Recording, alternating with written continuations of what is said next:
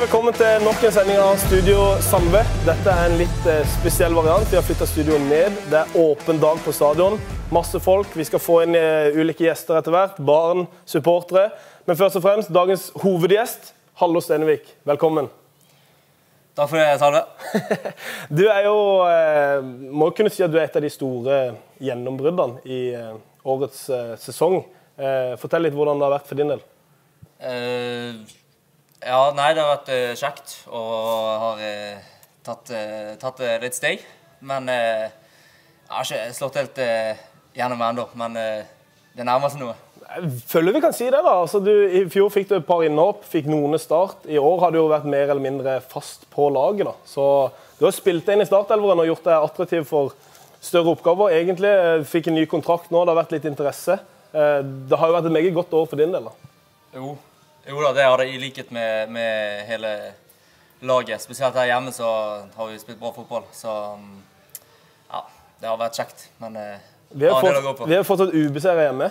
Kan du ikke fortelle litt om hvordan det er å spille her på Marienlyst? Jeg føler at vi kan eh, slå egentlig ja, slå alle når vi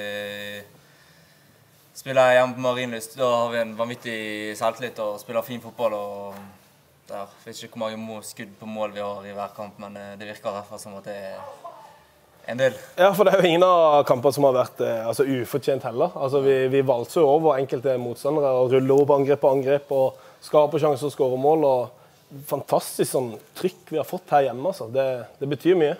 Ja, og så er det føler vi er i ferd med å få et, eh, skape et Fort Marienlyst igjen. Og så merker jeg det at supporterne supporterne ja, de koser seg på Marienlyst og de gir oss en ekstra boost og selvtillit. Så det er utrolig gledelig at det begynner å åpne opp, og at vi har nå begynt å få litt eh, supportere på eh, tribunen igjen. Ja, for Vi må snakke litt om det. Nå har vi åpen dag her nå. Eh, rundt 300 barn og unge kommer inn og besøker oss spillere. og altså, Det er jo veldig langt ifra sånn vi hadde det i fjor, i hvert fall, på denne, på denne tida. Så, så det betyr jo mye å få sett eh, supporterne våre. Ja, altså Det er fantastisk. Og spesielt nå når vi ser vi kan ha Sånn som i dag, så har vi jo 300 barn her ute. og Det er jo ja, det er nydelig å liksom kunne gi litt eh, tilbake til eh, folk her i Drammen, og spesielt til barna, da, så er de neste store. Ja, og så gøy å se hvor mye det betyr for, eh, for barna òg. Altså, sånn, det, er jo- det er jo kult for de å møte sine store helter. da.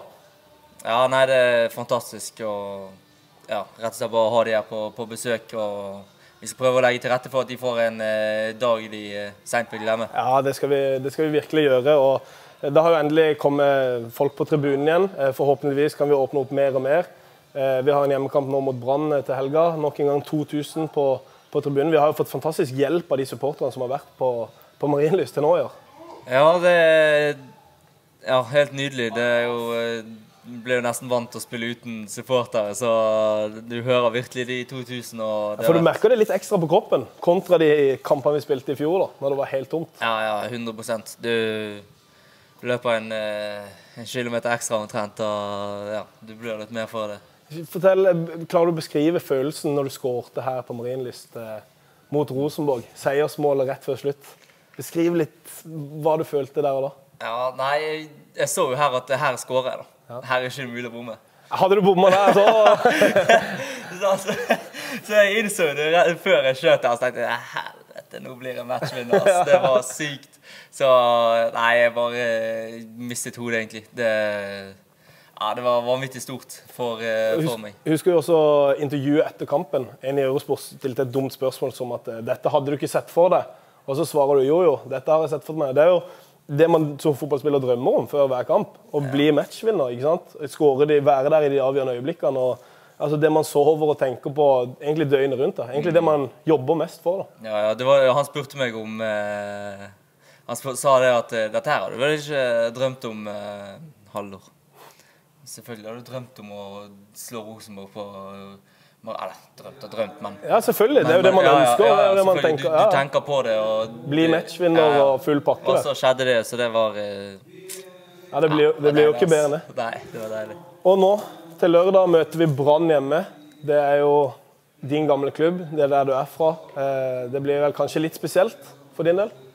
Ja, det har det, Ja, det, de kampene der har vært litt uh, spesielle. Uh, men eh, Ja, det handler om bare å legge alle følelser til, til side. Og det er godset eh, ja, Godset som har gitt meg muligheten, og det er alt å takke godset for, så jeg er klar for å trøkke Brann. Selvfølgelig. Det det, ja, det er jo sånn det skal være. Og, og sånn er fotballen, og det, det lever man fint med. Men, men, det er jo ofte sånn at da man kjenner litt ekstra mange folk, gjerne på laget eller i klubben, så, så du vet kanskje hvor mye det betyr for de òg. Og Brann har jo hatt en vanskelig sesong til nå. De ligger jo sist på tabellen, så, så for de òg er det jo en utrolig viktig kamp. Men eh, vi må jo tenke på oss selv, og her hjemme på som du sier, Fort Marienlyst, så, så skal vi ha tre poeng. Ja, ja. Vi skal slå hvem som helst her. Og det er akkurat eh, som du sier, vi må tenke på oss selv. Og det er en viktig kamp for oss. Eh, for vi mener at vi skal ikke um, se oss bakover på tabellen mer.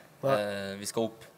Så her hjemme må vi ja, For det er jo bare å fortsette som vi har gjort hjemme, så det er jo egentlig bare på bortebane at man må skru opp litt. Og litt flere poeng borte, så hadde man jo hatt en helt annen posisjon på tabellen enn man har til nå. Så som du sier, da, fortsette hjemme, og så begynne å levere borte. Det er litt det det handler om. Ja, absolutt. Det, ja, hadde vi bare et par, par tre seire på bortebane der, så hadde vi faen, der, da hadde vi snakket, altså. Ja, vi hadde det, altså. Men sånn kan vi ikke tenke. Nå er vi halvspilt. Vi har 19 poeng, 15 kamper. Mye, mye bedre enn det de fleste hadde trodd på forhånd. Eh, og før sesongen, sånn som det så ut for vår egen del òg. Altså, man har jo egentlig imponert, eh, imponert alle så langt i denne sesongen.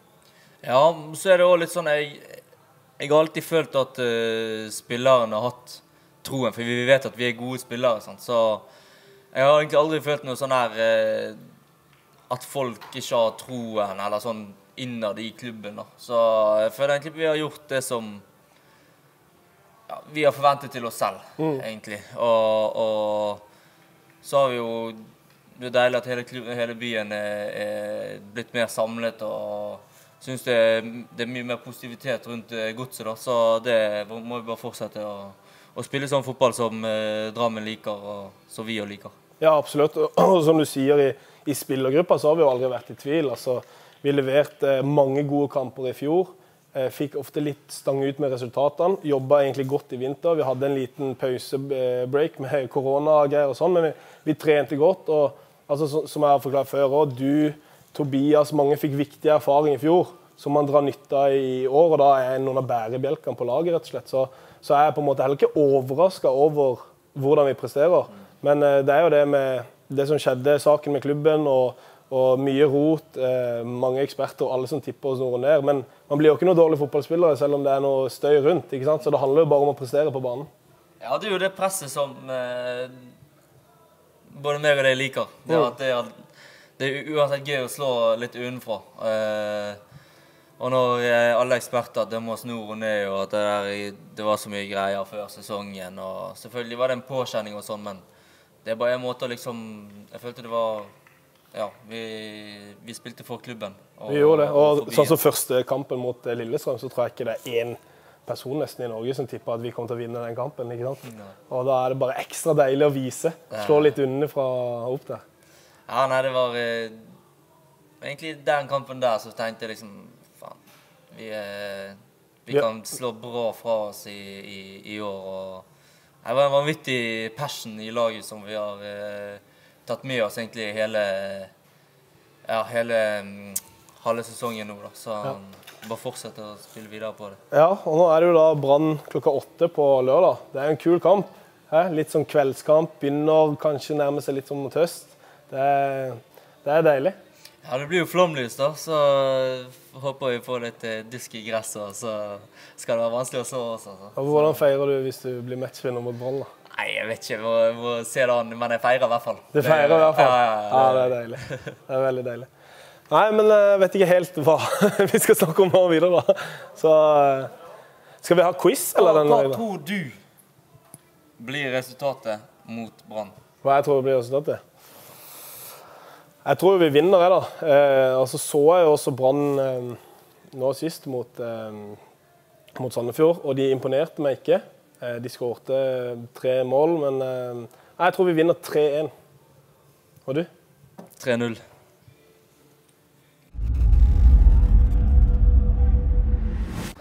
Du er bilder? Ja.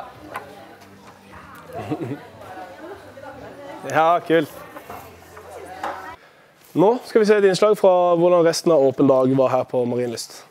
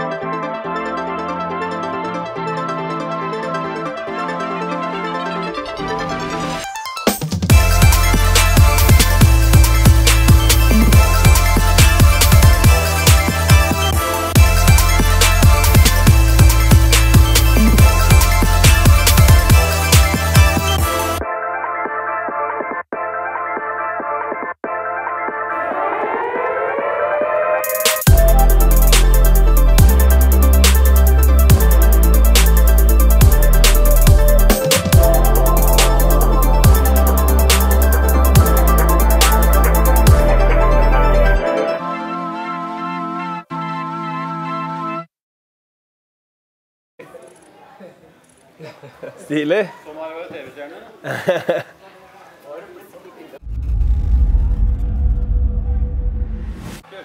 Da har vi vært så heldige å fått med oss Emil og Ludvig på sending. Velkommen. Takk. Ja, dette er jo faktisk første gang vi kjører en overrekkelse av premie i en episode. Så Emil, du tippa riktig resultat i Stabæk-kampen. Ja. Hva var det du tippa da? 2-1. Var du glad når det ble 2-1? da? Ja. Det var en deilig kamp for oss å vinne. Ja. Da sier jeg vær så god. Tusen takk. Og så må dere fortelle litt, da. Dere er Strømsgodset-fans. Ja. Såpass. Men dere pleier å se kampene. Dere har jo litt kontroll. Ja. Kan de fleste spillerne på laget? Kan noen? Du har kontroll, i hvert fall. Emil, Emil har kontroll. Men du pleier å være på Hvor mange kamper har dere vært på, på Marienlyst her? 15-16. Såpass, ja. Du er ganske interessert, da. Ja. Og så spiller, du spilte, Ludvig spiller fotball, og Emil skal kanskje begynne. Ja. Hvilke lag er det, hvilke lag er det du spiller på, da? Glassverket. Glassverket. Ja. Men eh, det er veldig kult å ha dere her. Ja. Og så syns jeg dere må komme på kampen til lørdag. Ja. Vi spiller mot Brann, det er en veldig viktig kamp. Ja. Så det hadde vært veldig bra. Også, Med, med mindre de har lagt seg, da. Kampen begynner klokken åtte. Han er litt sen, ja. Og så må dere fortsette å se på Studio Salve. Fortsette å tippe riktig resultat. Så blir det veldig bra. Nei, men Tusen takk for at dere kom, gutta. Da har vi fått med oss Eirik og Elias på sending. Eh, er dere Strømsgodset-fans? Ja, absolutt. Absolutt. Det er godt. Endelig noen ordentlige Strømsgodset-fans. Det trenger vi. Ja. Og dere pleier å være på kamper og heie og Ja. alt. Har hatt sesongkort i kanskje fire år. Det er veldig bra. Og så har vi billetter til kampen som kommer nå. Dere har det? Ja. Pleier dere å synge med på supportersanger og sånn? Ja. Kan dere de fleste? ja. Kan dere ta en sang for oss her nå? Eh, gamle gress, ingen slår godset på Marienlyst. Her er vi best! Her er vi best! På gamle gress. Klasse. Meget bra. Stående applaus i salen her òg. Veldig bra, gutter. Dere spiller fotball selv òg, eller? Ja. Hvilket lag er dere spiller på? Skjold. Skjold. Og Da er drømmen å komme for å spille for Strømsgodset en gang. Ja. Har dere mm, troa på det? Ja. Dere legger ned de timene som trengs. Trener mye. Ja. ja. Og hvis jeg tenker sånn utover, eh, hva er favorittlaget sånn i, i verden? da? Det er Liverpool hos meg. Liverpool, ja. Same. Dere fikk en god start nå i helga, da. Ja, veldig god start. Men det er United, da. Nei, ekkelt. Det er en United-supporter som sitter på sida her, da. Nei, hvilken posisjon er dere på banen? Jeg pleier å spille midtbane. Midtbane? Det er eh, helt random hva vi får. Ja, overalt. Du er sånn som er du. Ekte potet. Litt potet. Spiller overalt. Ja. ja. Og så er det viktige spørsmålet hvem er favorittspilleren deres på Strømsgodset? Favorittspiller? Jeg er veldig glad i Herman Stengel. Jeg har ikke favoritt, jeg liker alle. Du liker alle, ja. ja. Herman er en god spiller, da. Han er veldig god. Og Kanskje litt lik som deg òg, hvis du var midtbane. Ja. Ja. Så drømmen din er å bli litt sånn som Herman, da. ja. Det er Og så fikk han eh, treneren til å si at eh, Herman skulle begynne å spille på banen eh, i kampen. Ja, at Ja. man skal starte mot Brann. Ah, Du fikk treneren til å love deg det? ja, det er veldig, da ble du fornøyd? ja. Ja, det er veldig bra. Nei, men uh, Tusen takk for at dere kom, gutter. Tusen takk for at du fikk komme. Har det vært gøy på åpen dag? Ja. Ja? Stilig? ja. ja. Ja. Tusen takk. veldig bra. Festivalhelg, godsekamp. Det kan faktisk ikke bli en bedre helg. Hallo Stenvik, tusen takk for at du kom. Tusen takk for at jeg fikk komme. Så ønsker vi bare lykke til mot Brann. Takk for det. Og så er det nye tre poeng til godset.